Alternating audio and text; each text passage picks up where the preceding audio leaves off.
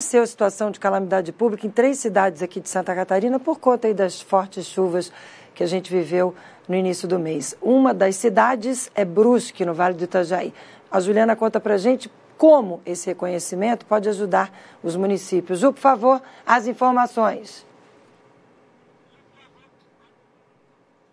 Oi, Márcia, bom dia para você e para todos. Isso mesmo, nesta quarta-feira, o, o, governo federal, por meio da Defesa Civil Nacional, considerou aí a, o decreto de situação de emergência ou calamidade pública de três cidades aqui de Santa Catarina, Águas Mornas, Brusque e também a cidade de Canelinha. E a partir de agora, com esse reconhecimento, esses municípios vão poder receber recursos do Ministério é, da Infraestrutura e Desenvolvimento Regional para atender não só a população que foi atingida pelas chuvas, mas também para reconstruir a cidade e restabelecer serviços que foram prejudicados. As ações envolvem socorro, assistência às vítimas e até mesmo a liberação de FGTS. Com base nessas informações, também o governo federal, por meio da Defesa Civil, vai avaliar a situação de cada um desses municípios e vai definir quanto vai ser liberado de recurso para essas cidades. Essas informações vão ser publicadas ainda no Diário Oficial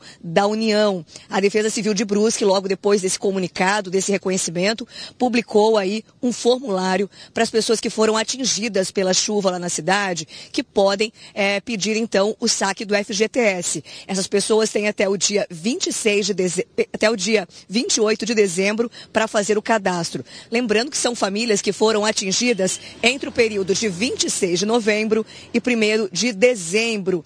E lembrando também que a cidade de São João Batista Batista teve o decreto de calamidade já reconhecido no dia 6 de dezembro, ou seja, já vai poder receber ah, antecipadamente esses valores. E é muito importante que as pessoas saibam, né, que ali na cidade de Brusque, por exemplo, quem já foi atendido pela Defesa Civil no momento das chuvas não precisa fazer o formulário, Márcia, exatamente porque a Defesa Civil do município já fez isso, já comunicou para o governo federal. Volto com você no estúdio.